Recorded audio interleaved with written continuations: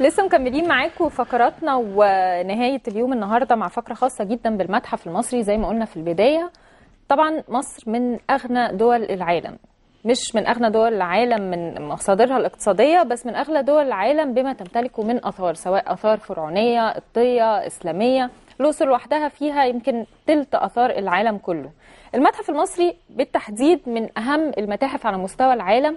المتحف في أجنحته فيه أشهر وأعظم ال ال الآثار الفرعونية وأكثرها جذبا للسياح. المتحف المصري من يوم ثورة 25 يناير وتحديدا من يوم 25 يناير كان فيه مشاكل كتير جدا حوله بالظروف اللي بيمر بيها. سمعنا أخبار كتير جدا عن بعض السرقات اللي تمت في المتحف وسمعنا بعدها بشهر أو بشهر ونص تقريبا أخبار تانية عن استرداد القطع المسروقة. عشان نعرف أكتر على المتحف المصري وعلى ما يمر به المتحف المصري. النهارده معانا دكتور محمود الحلواجي مدير عام المتحف المصري. صباح الخير. نهارك سعيد. صباح الخير يا فندم. نهارك سعيد. نرجع ورا شوية وقبل ما نتكلم على الأحداث اللي بيمر بيها المتحف النهارده عايزين معلومات عامة عن المتحف. إمتى تم انشائه ومين اللي فكر في فكرته؟ واشمعنى المكان ده تحديدا اللي أقام فيه؟ هو المتحف المصري في ميدان التحرير تم إنشاؤه عام أو بدأ في إنشاؤه عام 1897 وتم الانتهاء من إنشاؤه عام 1901 افتتح للزيارة عام 1902 وعلشان كده إحنا في 2002 احتفلنا بمئوية المتحف المصري.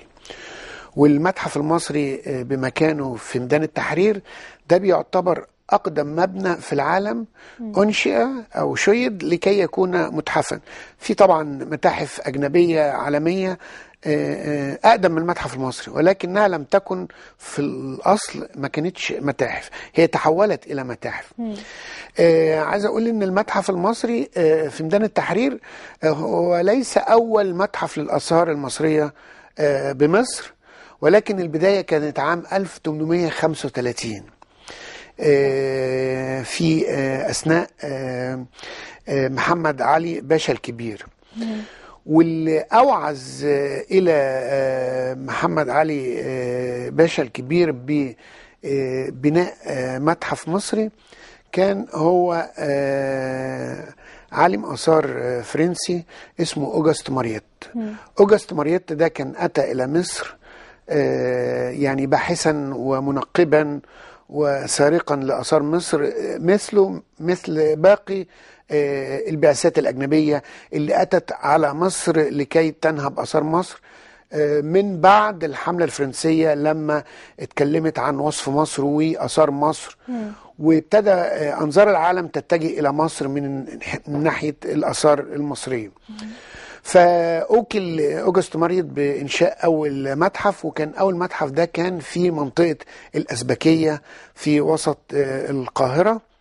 ولكن للأسف هذه المجموعة المتحفية أو أول مجموعة متحفية تم إهدائها عام 1855 لأرشدوق النمسا.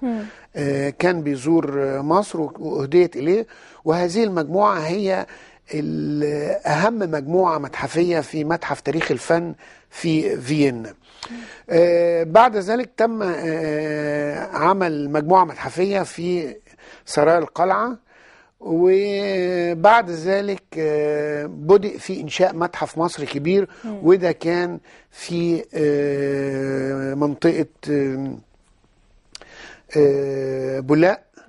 على شاطئ النيل يعني بالقرب من مبنى التلفزيون ولكن للأسف هذا المتحف كان دائم لأنه كان بيطل على النيل فكان دائم التعرض لأخطار الفيضانات.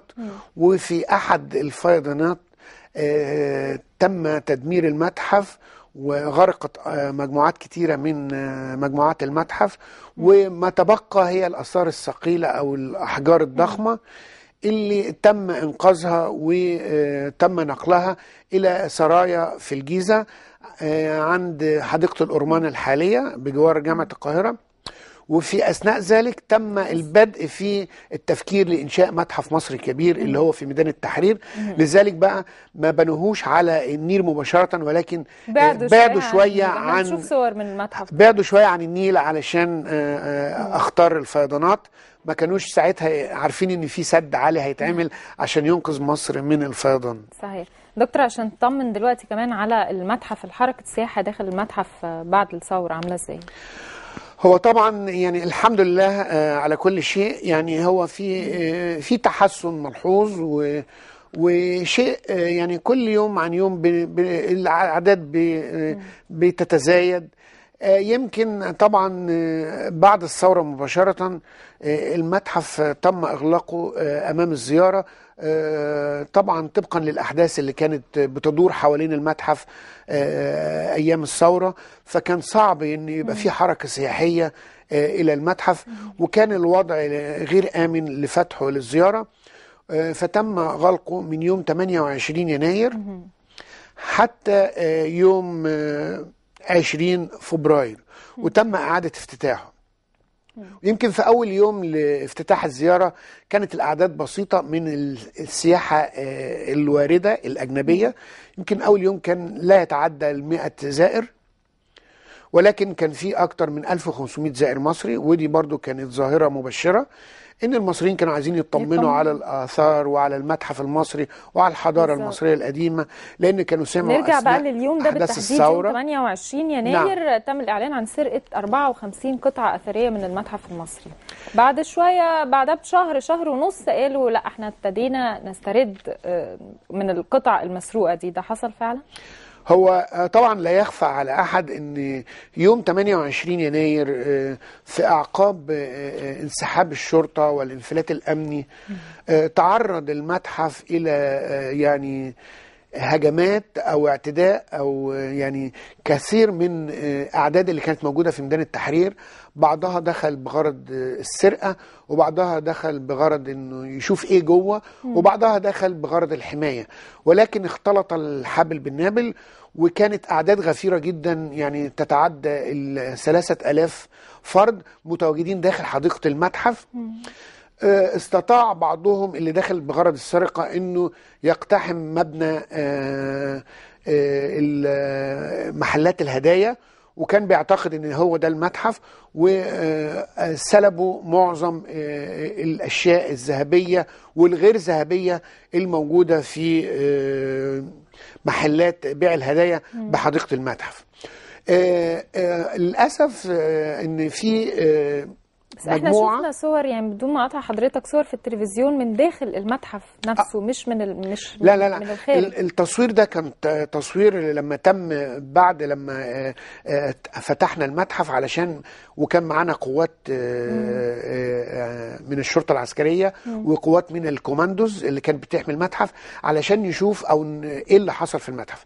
إنما هو اللي حصل يوم 28 مساء إن آه، في وسط الأعداد الغفيرة اللي تدافعت إلى داخل آه، حديقة المتحف استطاع آه، أفراد إن هم يطلعوا إلى سطح المتحف عن طريق سلم طوارئ سلم معدني ويمكن اثنين أو ثلاثة منهم استطاعوا إنه يدخلوا إلى داخل مبنى المتحف عن طريق كابلات كهربائية واستطاعوا إن هم يكسروا 13 فيترينا ويحطموا ما بداخلها والقوات المسلحة لما آه، طلعت لسطح المتحف قبضت على ست أفراد وبحوزتهم آه، عدد من القطع الأثرية.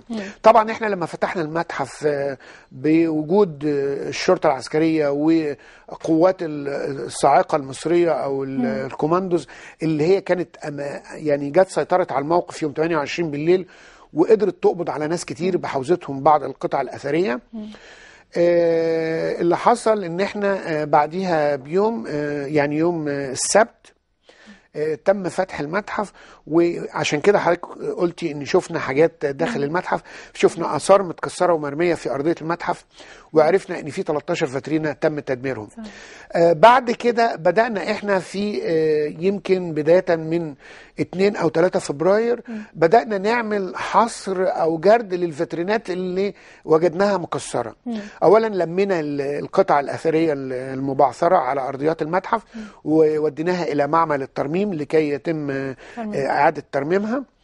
آه، وأعدنا السليم منها إلى مكانه الطبيعي وأعدنا تركيب الفترينات اللي كانت محطمة ومهشمة. وبدأنا نعمل الجرد. وبنهاية الجرد يمكن في آه، نهاية مارس اكتشفنا وجود أو اختفاء عدد 54 قطعة. وتم الإعلان عنها في جميع وسائل ال الإعلان 54 قطعة ما فيش قطعة منهم است- استعادها المتحف لا. لسه ما لما أعلنا عن اختفاء 54 قطعة وأبلغنا الشرطة الدولية الإنتربول ومنظمه المتاحف الدولية الايكوم ومنظمة اليونسكو وبلغنا ال- الموانئ والمطارات وبلغنا كل المتاحف العالمية إن في عن اختفاء قطع من المتحف المصري وده إجراء متبع لأن في اتفاقيات دولية بتحرم آه، تداول أو بيع أو عرض اي مقتنيات من مقتنيات المتاحف المسجلة آه، في جميع انحاء العالم. وبعد ذلك استطاعت آه، مجهودات القوات المسلحة الشرطة العسكرية ومباحث الآثار استطاعت ان هي تقبض على بعض العصابات اللي هي آه، وصل لها بعض القطع اللي اتسرقت من المتحف المصري وبالفعل آه، آه، تم القبض على بعض هؤلاء الخارجين وفي قضايا وخدوا أحكام رادعة من القضاء العسكري واستعدنا أجزاء كتيرة من ال 54 قطعة.